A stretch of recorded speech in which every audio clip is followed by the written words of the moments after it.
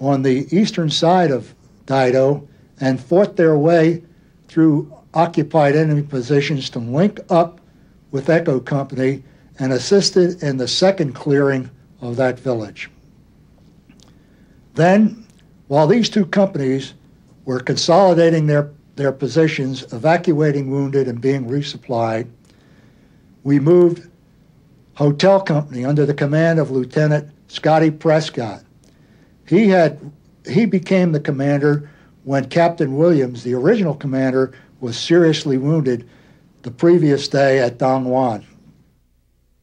Morning of 2nd of May, Hotel Company was in the assembly area. We're, we're waiting to attack Din To. Across the paddy, three, four hundred yards, Echo and Golf are still in Dai Do, and you can hear the scattered shots where they're cleaning up. Smell of smoke drifting across the field. While we're waiting, I'm watching the Marines around me. Young fellows, teenagers. I didn't know all of them, knew most of them.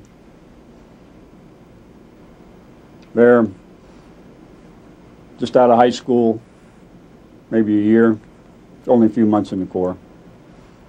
I was thinking about them. They were a long way from high school in every way at that point. We've been up in that country for a couple, three months. They fought a lot of fights, lost a lot of buddies, been wounded themselves and brought back to duty in a lot of cases, living in the open, all kind of weather, no shelter, no comfort. They're tough. Tough. And they had no illusion about what we were getting ready to do. 75 of us were going to attack another fortified position. We've done it before. NVA'd hold, they'd fight back hard because they're tough too. And we'd win in the end. But also in the end, there's going to be a lot less than 75 of us around. In order to keep the pressure on the enemy, Lieutenant Scotty Prescott and Hotel Company moved around the left flank of Echo Company and Golf Company and continued the attack into the next hamlet north of that position of Dai Do, the little hamlet of Din To. He moved forward with his company well into Din To, and as they approached the most heavily fortified part of the position, they were stopped by heavy enemy fire. Prescott called me on the radio and let me know that this was happening. happening. I was in Dai Do at the time. And while I was trying to figure out what to do, planning to mount one of my companies, or what was left of one of my companies, on amphibian tractors to come to the aid of Hotel Company, Jim Livingston, commanding officer of Echo Company, rounded up the survivors from his earlier assault that day, and with about 30 of his men, without orders from me, double timed to the assistance of Hotel Company, which was then in a heck of a firefight. Together, they stopped the enemy attack and were able to begin moving forward. We left Dai Do to assist Hotel Company in Din To.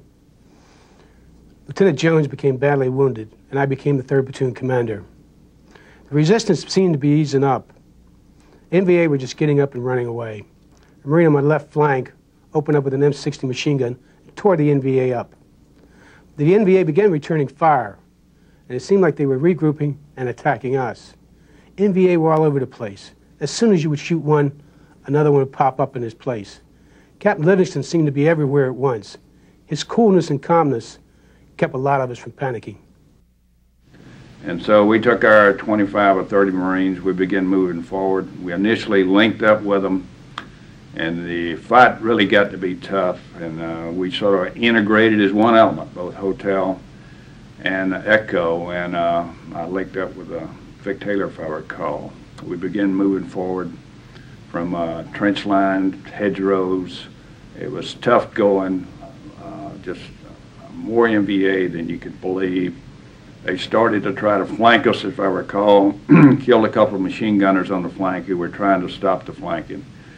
And as we continued to battle uh, at that particular point, it became obvious to me that we were being surrounded from both sides, it appeared, because we were taking fire from the front, from both sides. We were taking incoming artillery, and we were calling in artillery, so I didn't know what was good or what was bad artillery in terms of friend or foe.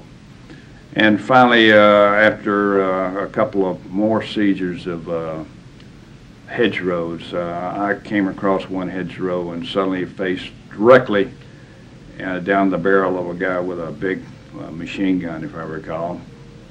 And this young fella, uh, young VA behind this machine gun, it looked like a 50 caliber, one of the old 12-7s, uh, took me under fire and I got hit in the leg and went down. When Echo came up, that was a shot in the arm.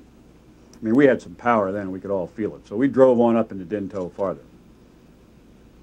Hard to say exactly how far because it was slow going. It was trench by trench and bunker by bunker,